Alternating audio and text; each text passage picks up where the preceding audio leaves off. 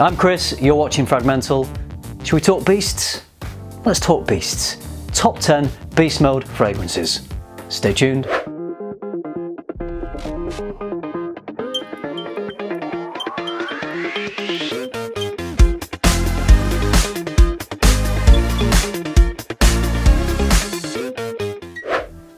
Beast mode fragrances? It's kind of a weird term, really.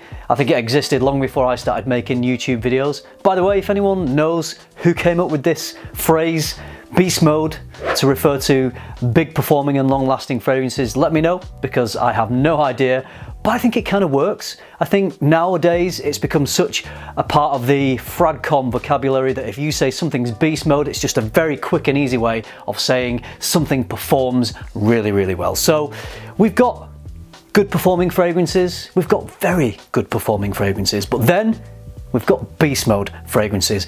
Beast mode fragrances are another level. They introduce you before you even get into a room. People smell them around you. The projection is massive. The sillage is just off the scale.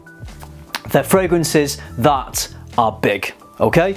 I have picked 10 fragrances out of my collection. I'm sure there are maybe bigger or more well-known beast mode fragrances out there, but I've chosen 10 fragrances from my collection that to me I think are beast mode. So let's get into it. The first fragrance I'm going to talk about is from a house called Bortnikoff. They are very well known for using high quality natural materials. The fragrance I'm talking about is called Oud Monarch.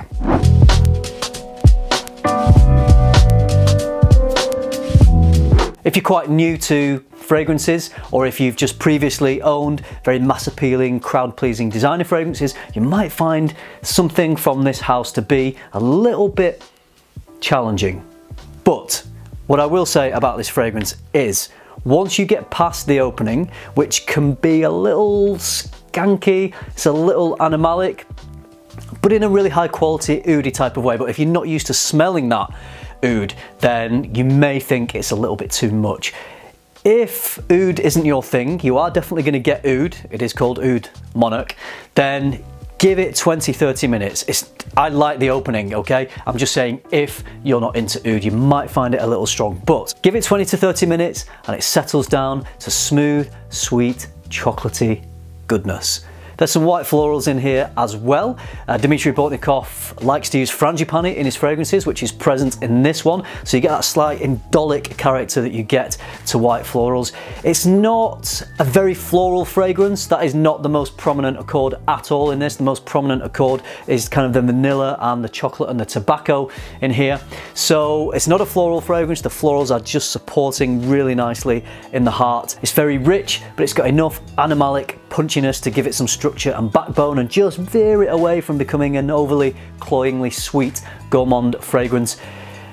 Oud Monarch to me is exceptional quality with exceptional performance. Not the cheapest, but with this you get what you pay for. For the next one, we're sticking with chocolate because I love chocolate. This is the opposite end of the pricing spectrum though. This is from the house of Louis Cardin and it's called Sacred.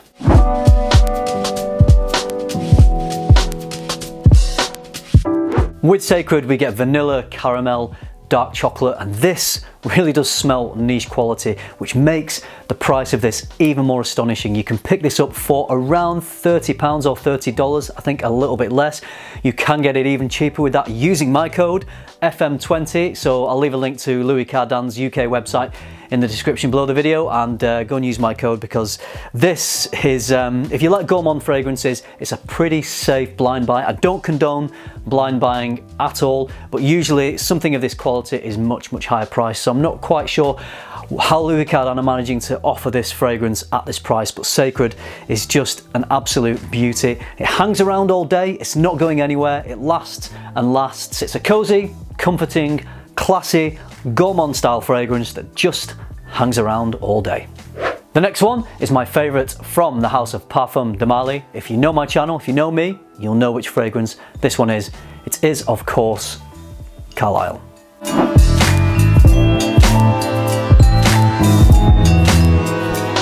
Carlisle to me is like a sweet spiced apple pie with a rich woody backbone. I'm not quite sure what Parfums de Marly do when they create their fragrances, but a lot of them, a lot of their heavier fragrances like Carlisle, have this DNA that adds this richness, this density, and it smells incredibly natural. It's sweet, it's crowd pleasing, it's gonna give you a massive all day scent bubble. The sillage of this one is gonna be off the charts. It's kind of a little bit like Herod and Oajan got together and had a little baby and Carlisle popped out. So this is almost a combination of those two fragrances. It's not a direct hybrid of those two, but it just has little things that remind me of each of those fragrances. So you get that nice sweet cherry tobacco, which I pick up a little bit in Carlisle, and then the apple from Oajan.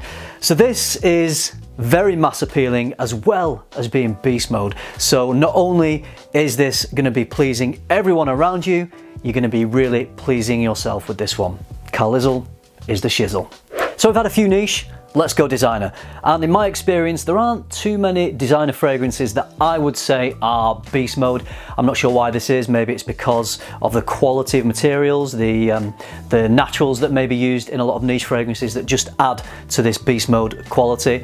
And scents that are designed to be, you know, mass appealing. Often you don't want them beast mode because they might be too much for some people. But this designer fragrance is certainly beast mode. It's an eau de toilette as well, which to me is just astonishing. You'll know this fragrance, most people have smelled it, most people own it. It is Dior Sauvage.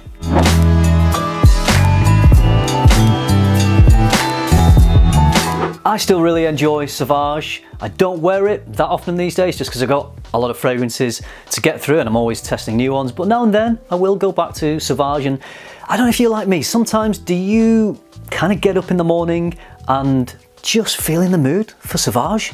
You can almost smell it. You know when you want to wear a fragrance, you almost smell it before you put it on? Well, sometimes I wake up and I can almost smell the Sauvage before I apply it, and it's those days that I put it on. So it's not often, but now and then I do still really enjoy it. You get bergamot with this, you get a lot of ambroxan, you get all the ambroxan with this one. So a lot of people criticise this fragrance for being a little too screechy, a little too metallic, perhaps you could say abrasive in the opening. It is a very, very loud opening. It makes no apologies for itself. It's certainly not a subtle opening, but I'm okay with that. I don't mind it. I think the opening is fine. I don't find it too abrasive or obnoxious, and I've never had any complaints when I'm wearing this one. The fact that Sauvage has the performance that it does, and it's an eau de toilette concentration, blows my mind. This is a big scent, massively performing scent, very mass appealing. The downside to this is it's popular. You might smell this one around like everywhere you go in the world. It's that popular. So if you don't want to wear a scent that you think you're going to smell off other people, this one might not be for you. But if you're okay with that, I think this is probably the most mass appealing beast mode fragrance on the market today.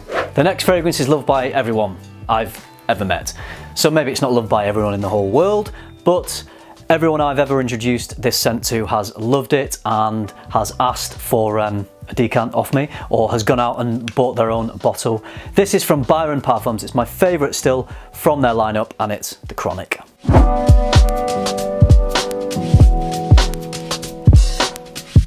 This is a beautiful, sweet, creamy sandalwood fragrance with some cinnamon.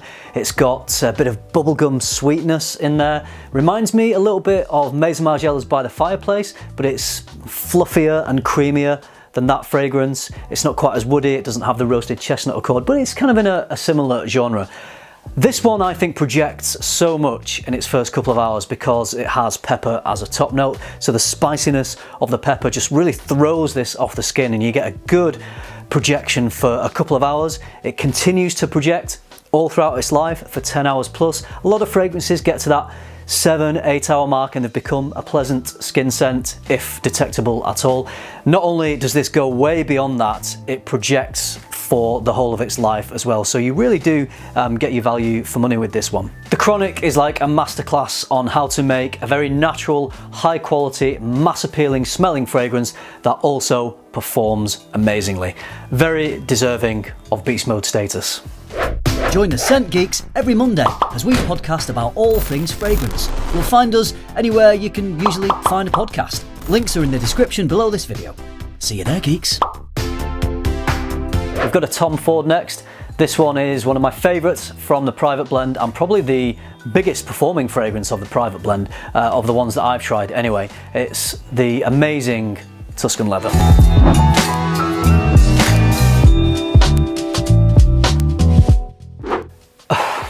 I just find this smell to be incredible. The raspberry, the leather, there's some jasmine in here as well.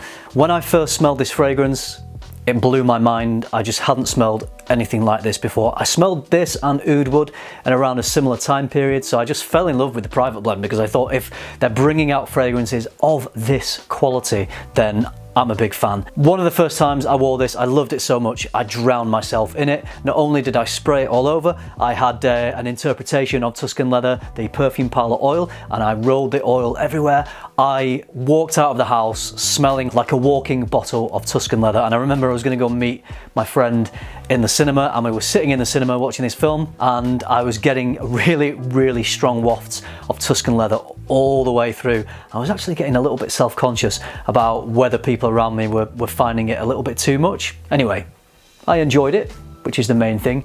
For non-frag heads, this could be a little bit challenging, a little bit divisive because it is such a strong and potent smell. This is not the original formulation, I believe it used to be stronger. So if it was stronger, then wow, that, that must have been the beast mode fragrance to rule all beast mode fragrances because I still class this current formulation, which is I think a year, maybe two years old, um, I still class this as beast mode. So if you're a non-frag head, then sample first. Also, word of warning, if you're a guy and you're thinking of buying this and it's important to you that your partner or wife enjoys this fragrance, maybe sample it first. Aventus is not on this list because to me, it's not beast mode. It's not bad, but it's not beast. This one, however, is from Nishane, it's Hacivat.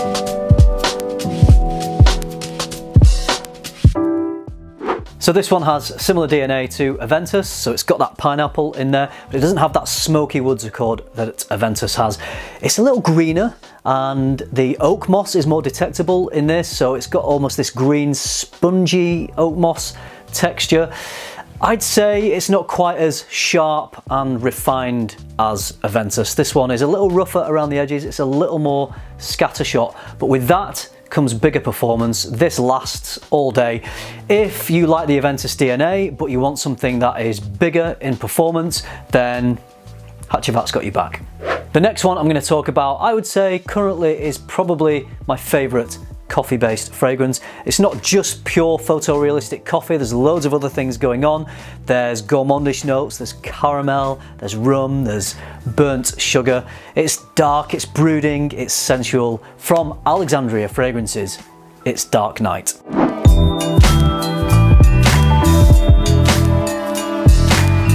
I'd say that this is one of my favourite fragrances from Alexandria Fragrances. It is of course based on By Kilian's Black Phantom. I do have a small decant of that and to be honest they smell very very similar. I'd struggle to tell them apart if someone did a blind test with me. It's rum, it's caramel, it's coffee, it's chocolate, it's sweet, it's a gourmand lover's dream. For some reason this fragrance makes me think of Johnny Depp's character in Pirates of the Caribbean. This seems like the kind of fragrance Captain Jack Sparrow would wear because it's got that rum accord which you associate with pirates, but he's got some swagger, he's got some character, he's a lovable rogue. So if you're a lovable rogue type of character and you like sweet fragrances that have massive performance, then Alexandria Fragrances Dark Knight is absolutely amazing, or if you can stretch to it, by Kilian's Black Phantom. So there seems to be a bit of a theme with these beast mode fragrances. A lot of them are sweet, thick, rich, gourmand type scents. I think those types of compositions just lend themselves to big projection, massive performance. So this one is no exception. From Navitus Parfums, it's Absolutio.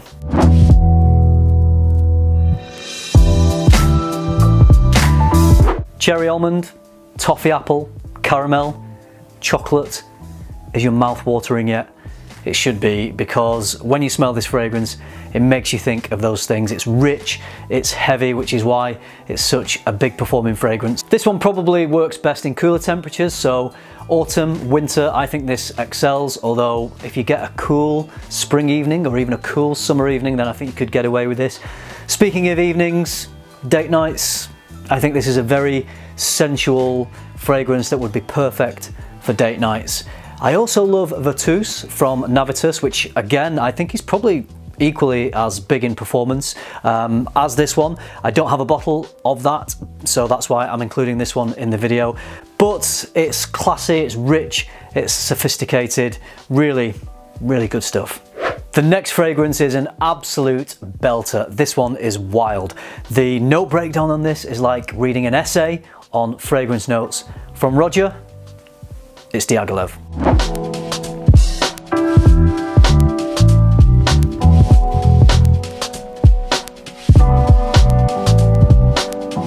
So there's a lot going on with this. It's a fruity floral chypre. Can we just have a moment there for my pronunciation of chypre?